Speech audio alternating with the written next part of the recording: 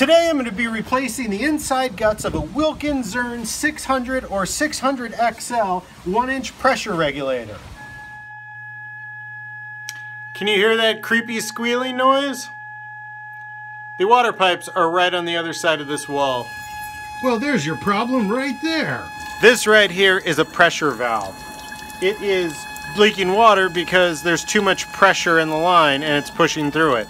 Or it's possible that this has failed and there's a seal in it and it's failing. So I gotta figure out whether this has failed or this, which is the pressure regulator, has failed and is allowing too much pressure in the line. I actually suspect that it is the pressure regulator because if you watch the water in the faucet, it'll come out with a lot of pressure and then it subsides.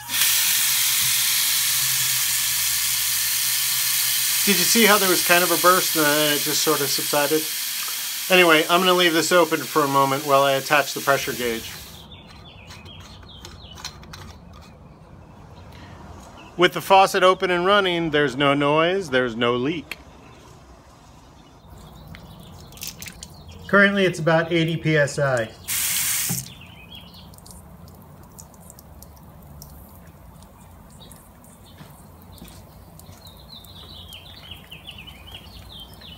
And with the water off, it's jumped to 140 psi. That's no bueno. So this pressure gauge proves that this pressure regulator has gone bad. And actually this pressure valve right here is doing its job by releasing the excess pressure that this thing is allowing by. So I have to rebuild or replace this thing.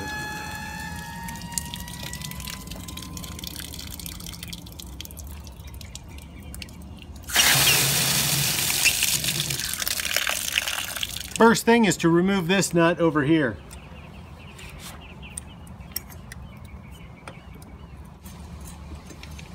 Next, I'm going to try and unscrew these two here.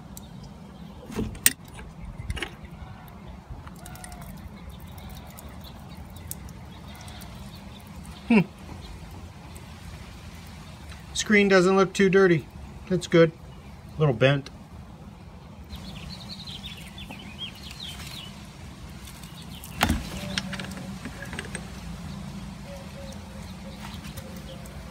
This is actually going way better than I had thought it would. Of course, the big challenge here is I've got to get this bell off. I've got to grab it with a wrench here and try and unscrew it. Hey!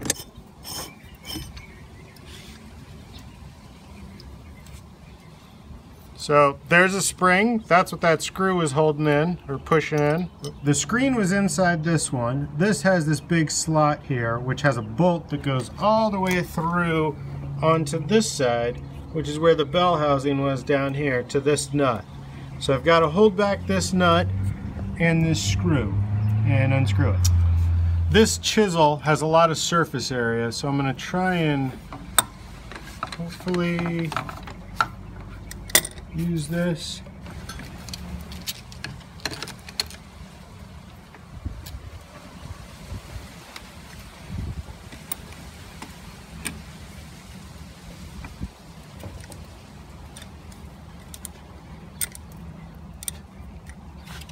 Once again, it worked. More than likely, yep, right there. That's it. That's the point of failure right there. And that's what I figured where the point of failure was going to be at that O-ring.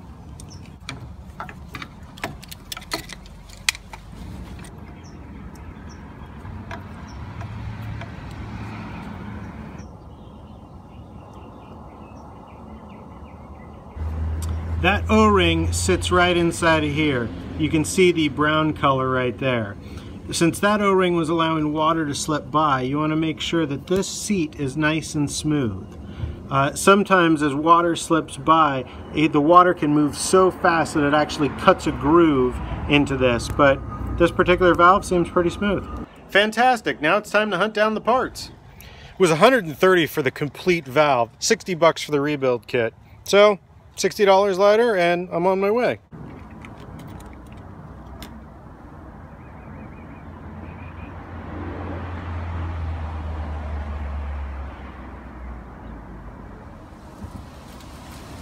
So we've got a nut here, we've got a washer which has sort of a smooth side here, a little rougher side there. So make sure the smooth side goes into the rubber, touches the rubber right there. And this guy right here. This ring is going to go here. Pull this out.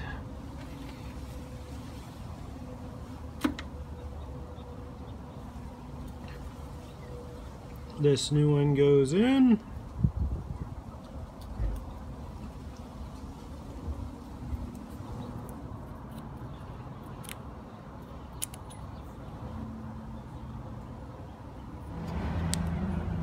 First we have to lube the O-ring.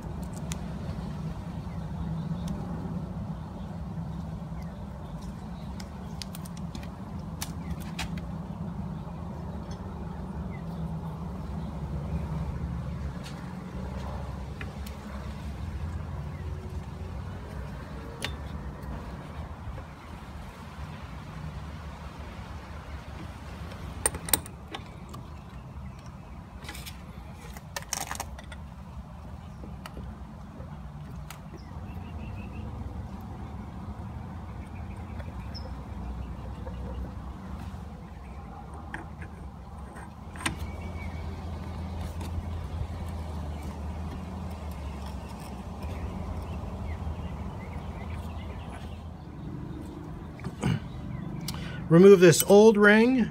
I had cleaned this area in here. This is a little for the bolt to the spring, so we stick that inside of there.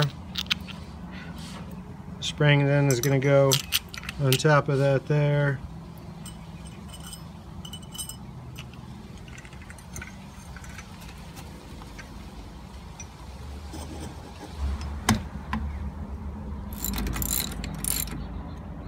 All right, it is time for the moment of truth. First thing I need to do is open up some faucets inside the house.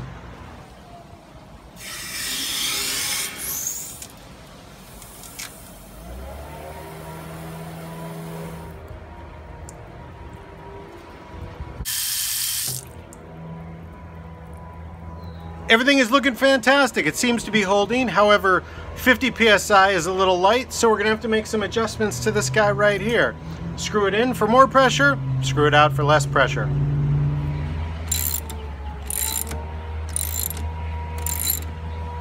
Let's relieve the pressure in the line. And now it is at a nice 68 PSI. So thankfully for me, this job turned out to be a piece of cake. It was no problem replacing the guts of this Wilkins Zurn 600 or 600 XL pressure regulator, one inch line, keep that in mind. Yours might be a three quarter.